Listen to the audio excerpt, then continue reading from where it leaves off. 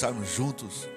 Esse lugar está aquecido pela presença do Espírito Santo de Deus, que é real no nosso meio, nessa noite tão linda. Que bom que você veio. Tenho certeza que Deus está muito feliz pela sua iniciativa. Você poderia estar em tantos e tantos lugares, no mínimo descansando. Né? Você optou estar aqui, você ouviu a voz do Espírito Santo. E eu tenho certeza que Deus tem uma mensagem especial ao seu coração. Ok?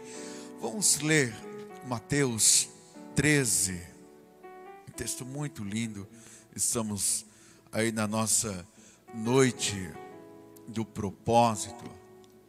E hoje uma vida de propósito com base na palavra propósitos baseados na palavra.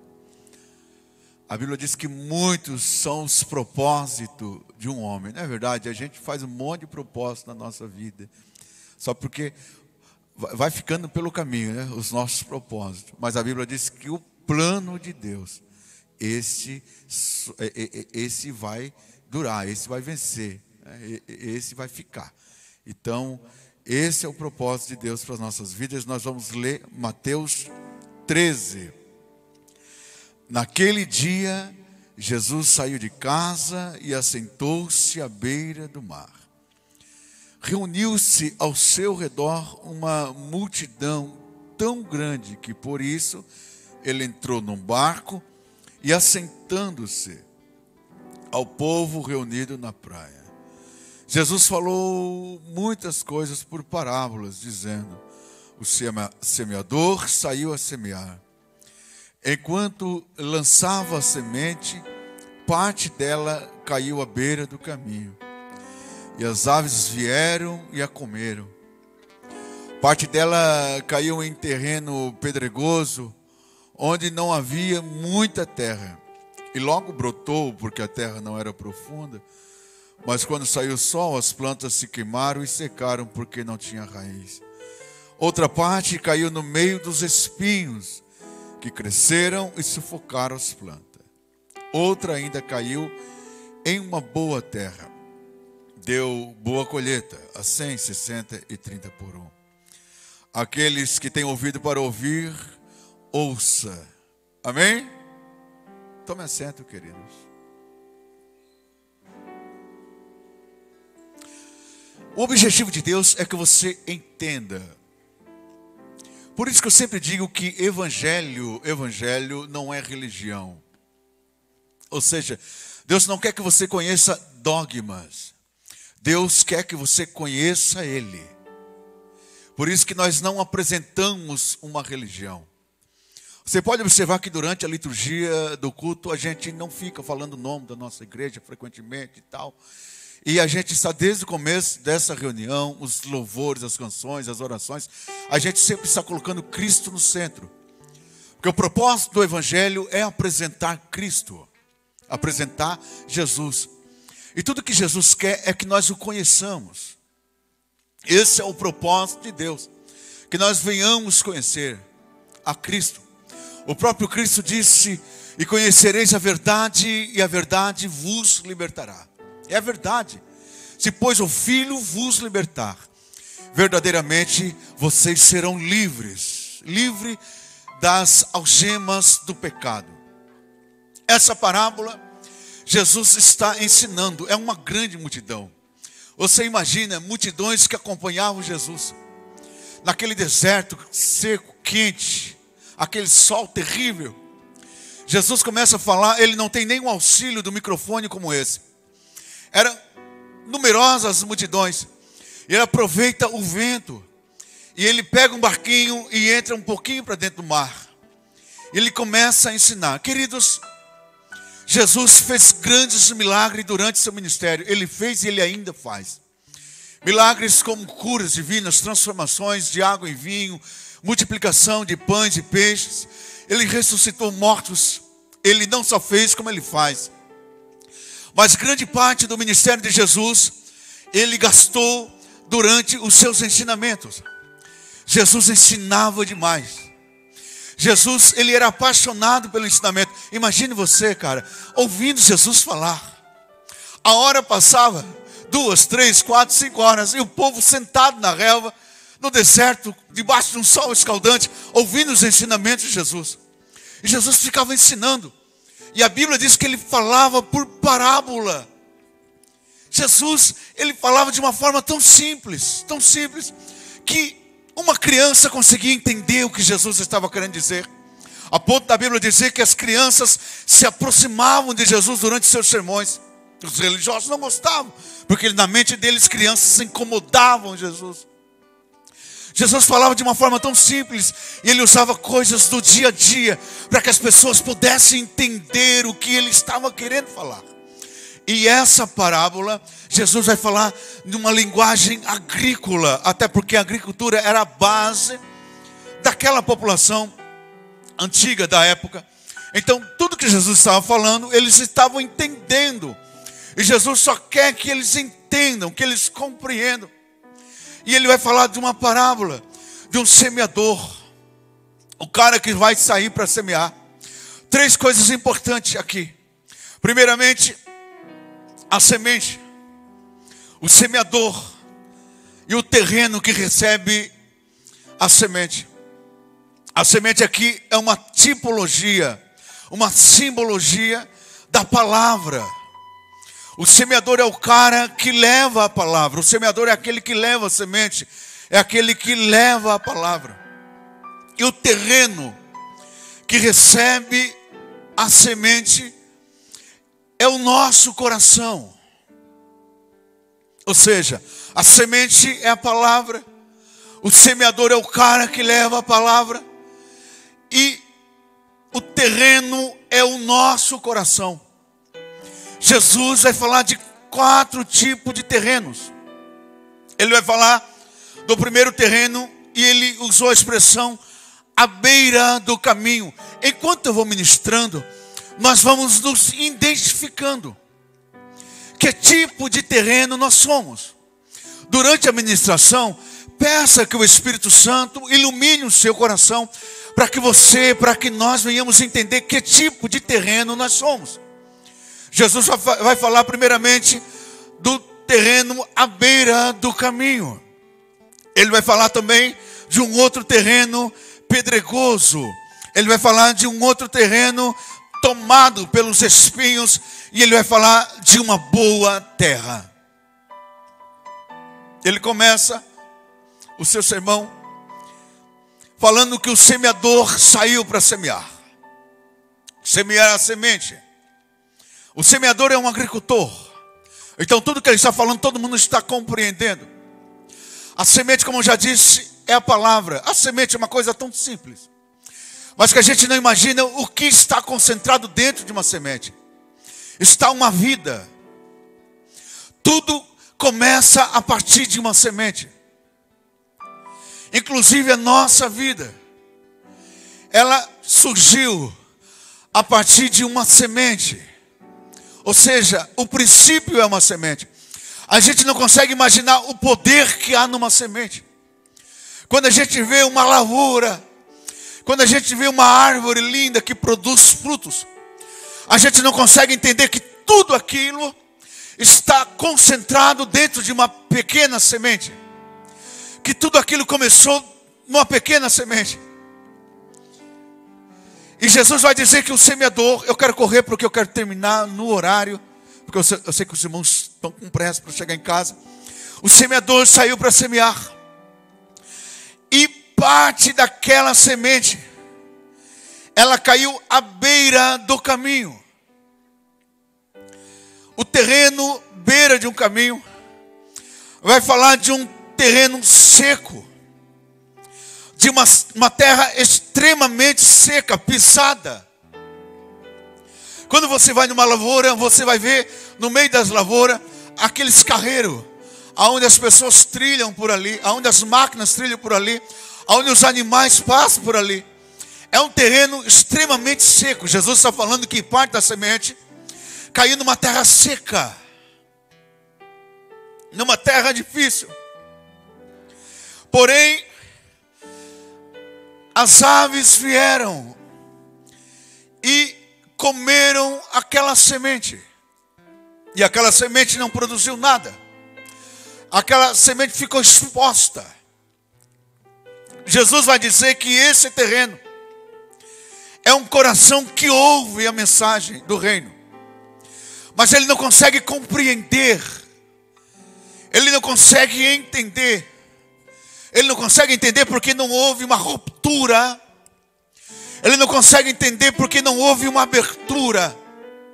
Então é um coração fechado, é uma terra seca, é um terreno batido, endurecido, um coração duro. A Bíblia diz que o maligno vem e arranca. Aquelas aves é uma simbologia do maligno que arranca o que foi semeado em seu coração. Esse é o caso da semente que caiu à beira do caminho. Lembre-se de uma coisa em Romanos 10 e 17, a Bíblia diz que a fé vem pelo ouvir, e o ouvir da palavra de Deus. Você não precisa pagar para gerar fé. Você não precisa ser um cara talentoso para você ter fé. Porque o ponto de partida da fé, que é gerada dentro do coração, vem pelo ouvir. E esse ouvir não é simplesmente ouvir, ouvir, ouvir de uma forma, sabe? Eu simplesmente ouvir. Não. É mais do que escutar. É escutar, é compreender, é captar, é aceitar, é ser flexível. É quando você abre o coração. A Bíblia vai dizer que se hoje ouvires a voz do Espírito Santo, não endureçais os vossos corações. Porque tudo que tem para acontecer na minha e na sua vida, o propósito de Deus. Deus tem um plano na vida de cada um dos senhores que aqui estão. Mano, você não consegue entender o que Deus pode fazer através da sua vida. Mas talvez que sabe você diga assim, pastor, a minha vida está toda bagunçada. Você não sabe como que está a situação da minha vida, não importa. Agora deixa eu dizer, tudo vai começar a partir do momento que você abrir o seu coração, deixar essa semente entrar na sua vida. Quantas pessoas que vivem um ciclo de derrota, Quantas pessoas que nunca conseguiram trilhar o propósito de Deus na sua vida, nunca conseguiram entender, porque também nunca abriram o coração para nada. São pessoas extremamente fechadas, são pessoas como esse terreno seco, que faz uma campanha, que faz duas campanhas, que vem à igreja, que vem e volta, e nunca muda de vida nunca conseguiu desfrutar, desfrutar de uma experiência sequer com Deus. Deixa eu dizer uma coisa para você. Pode vir aqui pregar o melhor pregador que for. Pode vir pregar aqui o cara, meu Deus, que Deus usa tremendamente. Mas se eu não abrir o meu coração, não vai acontecer absolutamente nada na minha vida. Que tipo de terreno eu sou? A galera está olhando para Jesus assim. Pois será que eu sou esse terreno? Será que eu sou um cara fechado? Será que eu não desfruto de nada de Deus porque eu nunca abri o meu coração para Deus? Vai pensando. Jesus vai falar do segundo terreno. É o terreno pedregoso. Que parte da semente caiu entre os pedregais. Dá-nos a entender que é um terreno com muitas pedras, com apenas uma camada muito fina de terra sobre as pedras e entre as pedras. Até porque eles entendiam, porque eles estão numa região árida, seca ou semiárida, aonde a terra é seca, aonde tem muitos pedregulhos. Jesus vai falar de algumas coisas importantes desse terreno. Vamos entendendo aí. Ele vai dizer que não havia muita terra, não tinha terra suficiente. A semente logo brotou. porque a terra não era profunda, ou seja, não tinha profundidade. Mas quando saiu o sol, as plantas se secaram e queimaram, porque não tinha raiz. Isso aqui é muito fácil para a gente entender. Joga semente, tem uma camada fina, tem mais pedra do que terra. A semente germina com rapidez. Só porque ela não tem terra suficiente para que ela possa enraizar. E ela se torna uma planta vulnerável, fragilizada, e logo o sol, um sol de um deserto, de uma terra, uma terra seca, de uma região árida, queima aquela semente que acabou de germinar. Jesus vai dizer que a semente que foi semeada entre os pedregais é o que ouve e logo o recebe com alegria. Mas não tem raiz em si mesmo. Antes é de pouca duração. E chega da angústia é perseguição. Por causa da palavra, logo se ofende. Quem está entendendo, diga amém. Jesus vai dizer assim: é aquele cara que ouve a palavra, ele recebe a palavra, é diferente do primeiro terreno. Poxa, eu gostei dessa palavra, eu entendi a palavra. Só porque ficou tudo muito superficial. Ele entende o evangelho dentro de um ponto de partida, dentro de um ponto de partida de superficialidade. Ele não tem raiz suficiente. Deixa eu dizer uma coisa para você: firmeza espiritual, maturidade, vida íntima com Deus não se encontra na superfície.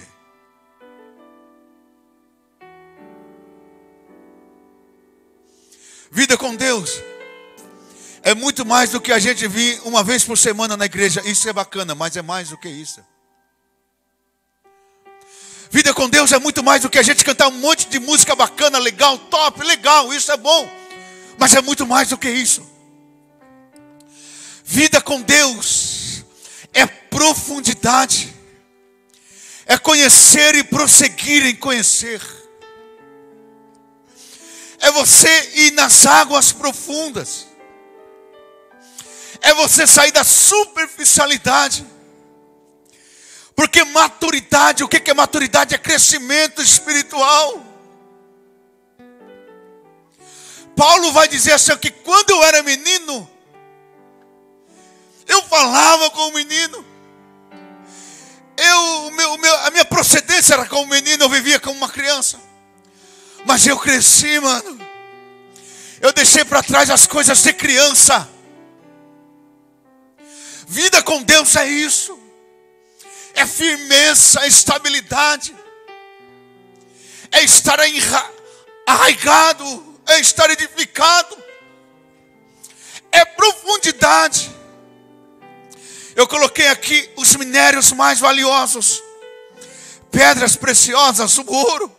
Você não encontra na superfície.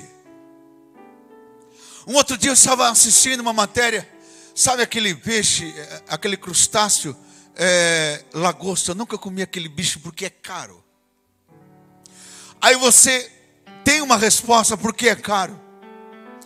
Porque você não pega no anzol. Ele não vem na superfície. Assista lá algum vídeo dos caras que, que, que pescam lagosta. Eles descem lá embaixo. Lá embaixo eles vão para pegar aqueles bichos bonitos. Porque não é fácil. Porque tudo que é valioso tem um preço. Vida com Deus tem um preço. A salvação é de graça, evidentemente que é. Mas para viver com Deus, tem que cavar na profundidade. Porque maturidade, crescimento espiritual não está na superficialidade. Existem muitas pessoas que têm vida curta.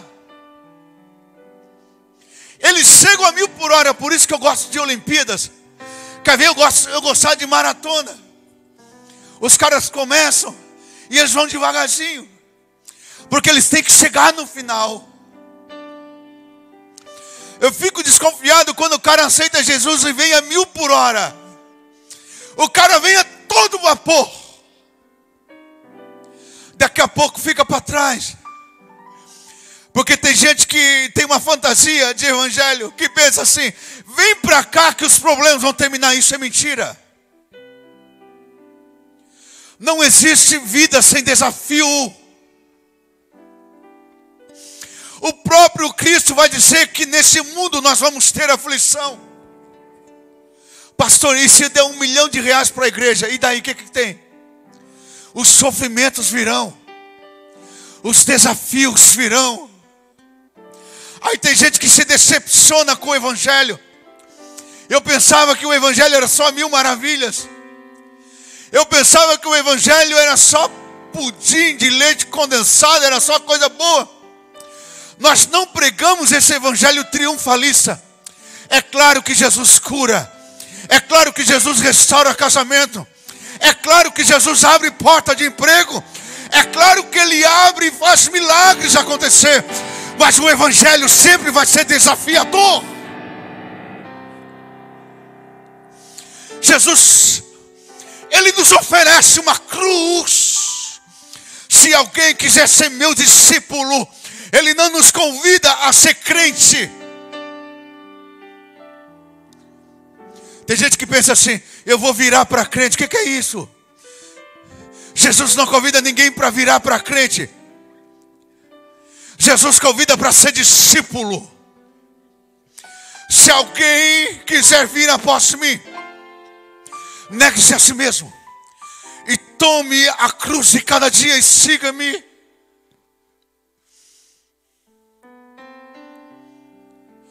Quantas pessoas que se decepcionam com Jesus? Porque não tem profundidade. Porque a raiz é curta. Porque não conhece Deus no profundo. É como aquele, aquele cara que construiu a casa sobre areia. Que tipo de terreno nós somos? A Bíblia diz que os que confiam no Senhor são como os montes de Sião que não se abalam, mas que permanecem para sempre.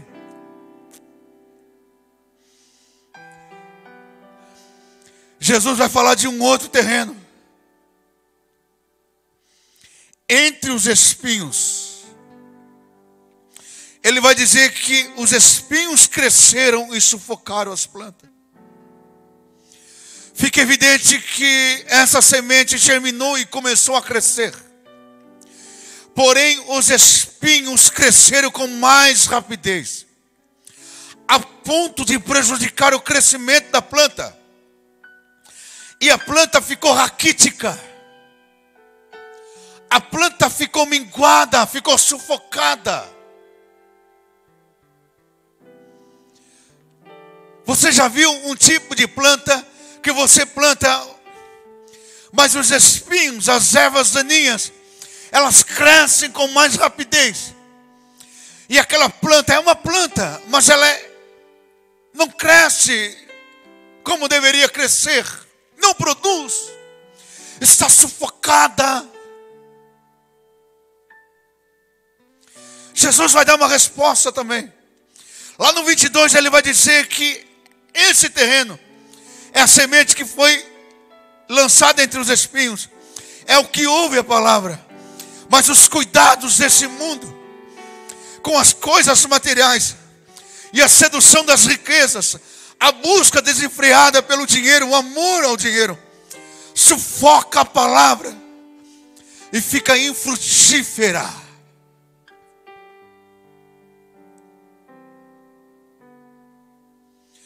Jesus está deixando bem claro que existem pessoas que teriam tudo para produzir. Que existem pessoas que poderiam estar top, produzindo muito. Mas o cuidado demasiado, não estou dizendo que não é para você lutar pelas coisas materiais, evidentemente que sim. Mas o amor ao dinheiro, o cuidado desenfreado pelas coisas materiais, acabam sufocando e essa pessoa não consegue desenvolver, essa pessoa não consegue crescer, até porque ela está aqui, mas a mente dela está lá nas coisas. Ela não consegue se desapegar das coisas. O dinheiro é para nos servir, queridos. E não nós servir ao dinheiro. O dinheiro não pode ser o nosso patrão. O dinheiro é para estar no bolso e não no coração. Jesus vai dizer que as pessoas que não conseguem desapegar das coisas materiais, elas não conseguem viver uma vida plena com Deus. Elas não conseguem trilhar o propósito de Deus. Porque ela não consegue desapegar. E o cara chegou para Jesus e perguntou para Jesus: Eu posso seguir você? Claro, mano, que você pode. Mas Jesus sabia, pastor Altair, que o coração dele estava preso nas riquezas. E Jesus vai dizer: Só tem um detalhe: vende tudo que você tem, desfaz de tudo, dê para os pobres, aí você me segue. Claro que não. Porque a prioridade dele eram as coisas dessa vida. Deixa eu dizer uma coisa para você. Existem bênçãos terrenas e existem bênçãos eternas. Todas duas são bênçãos, mas uma é mais importante do que a outra. Por isso a mais importante tem que ser prioridade. As bênçãos terrenas são temporais. As bênçãos eternas são atemporais.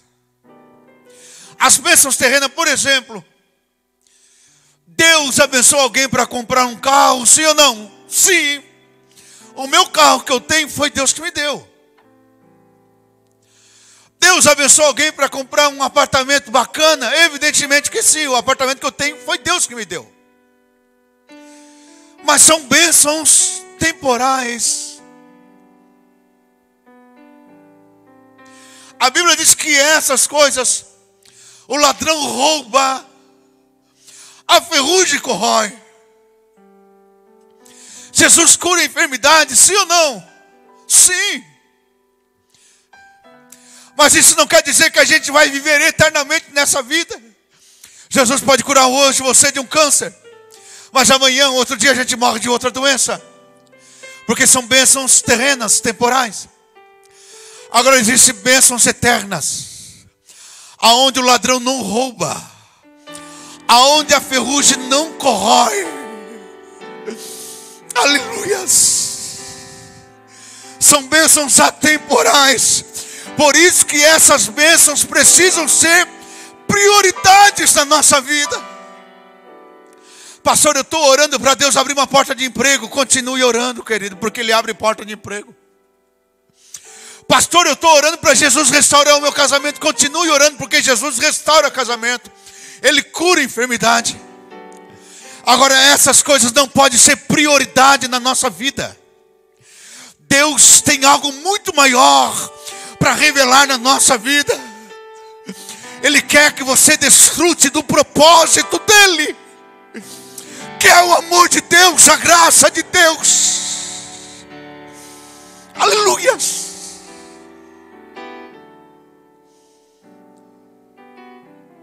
O dia que você conhecer Jesus, o dia que você conhecer o amor de Deus, esse amor nos constrange, esse amor nos invade, esse amor nos domina, a o cara apaixonado, louco por Jesus. A ponto dele estar pronto a morrer por Deus. E nada, absolutamente nada nessa vida passa a ser mais importante do que esse amor, o amor de Deus. É isso que Ele quer. Que tipo de terreno nós somos? Fique em pé, por favor.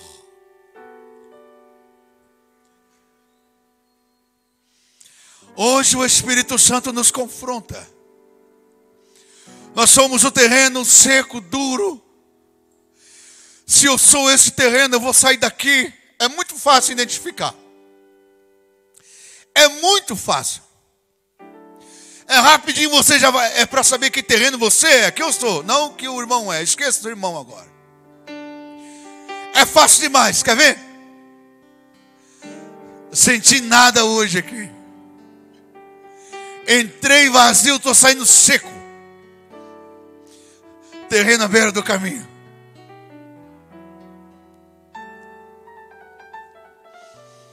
Pastor, sabe de uma coisa? Estou decepcionado com Jesus. Eu pensei, eu pensei, pode deixar prontinho aí.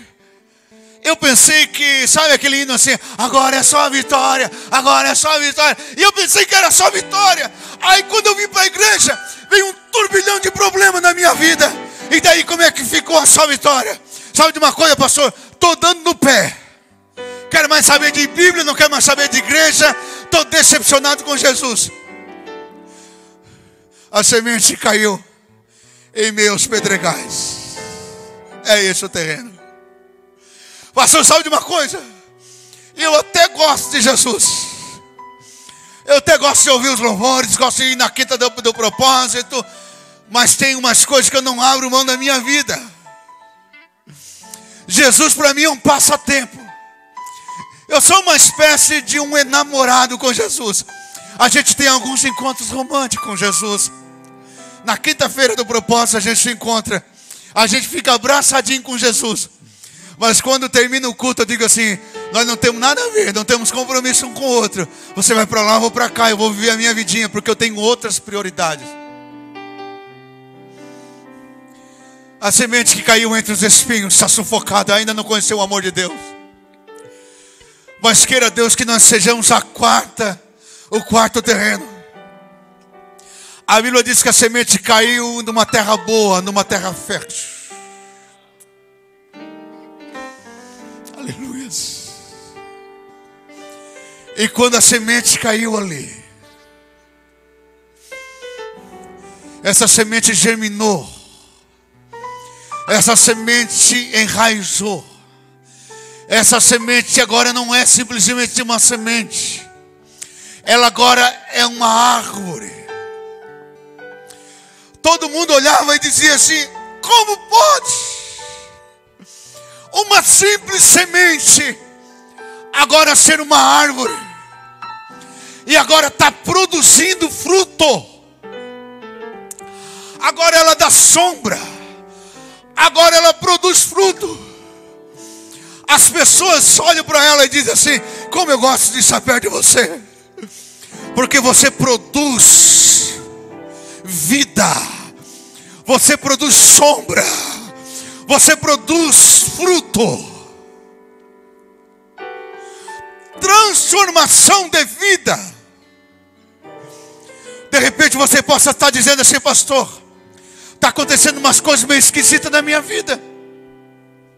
Sabe, uma hora dessa, eu estava na frente do meu televisor para assistir aquela aquela programação nojenta, que tudo lá é normal. Depois que eu comecei a ouvir a palavra, pastor, eu estou com nojo daquele negócio.